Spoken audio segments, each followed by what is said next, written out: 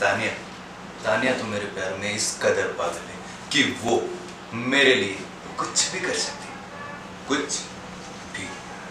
मगर बाबूजी ने मुझे ठुकरा कर अच्छा नहीं किया।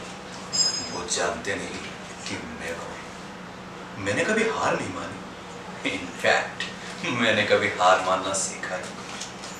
तानिया से तो मेरी शादी हो गई। इस घर का दामाद तो मैं बंद कर लूँगा और फिर होगी इस घर की やばい。はい